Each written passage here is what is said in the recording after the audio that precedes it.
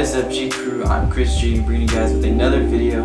In today's video we're going to be discussing on how to complete a video from start to finish in, uh, in HitFilm Express. When you first open up HitFilm Express you're going to see that there's going to be a ton of windows. Um, most of them are just video editing tutorials and there's going to be others that show you just add-on packs that you can get on uh, later down the road. And then there's also going to be a tab where you can open new projects and old projects. For the sake of this video, we're going to be opening up a new project and once you do that, you're going to see that there's going to be a new window that pops up that you can adjust the settings. In the settings, you can also change the duration of the timeline. So if you're going to have a two minute video, you can already set it to two minutes. Or if it's going to be a five minute video, you can change it to five minutes as well. Once you're happy with the settings, just hit OK and then you can start your project. Just so we're on the same page, go to the top of your screen and hit View go to workspace and change it to compositing so we can both see the same exact screen. As you notice there's a bunch of different panels that are on the screen. At the very bottom is the timeline. In the timeline that's where you're going to import all your videos. The next panel is going to be the viewing screen that's where you're going to be able to preview everything you're going to edit. Next over to the left is going to be the effects panel along with the texting and the controls panel.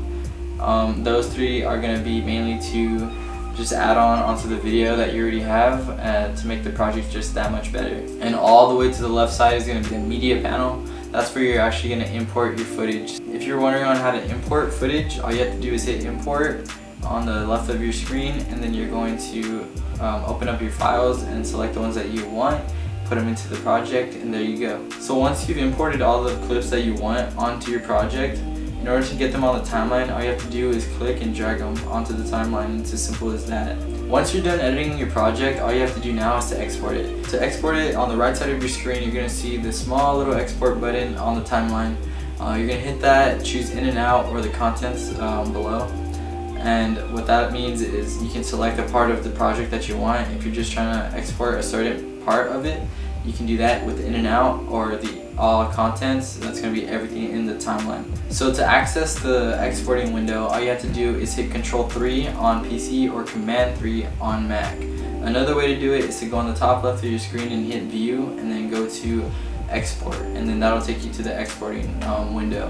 When exporting a file, make sure that it matches the footage that you've been editing. So if I'm editing a 1080 file, I don't want to export at a 720 because then it's just going to compress the file. Make sure that you're editing at 1080 and then exporting at 1080 4K and 4K, etc.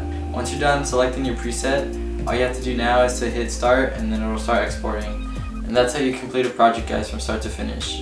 Thank you guys for watching. I hope you guys enjoyed and learned something new. If you have any questions about the video or anything specific, just let me know down in the comment section below. I'll get right back to you guys as soon as I can. Uh, but without further ado guys, peace.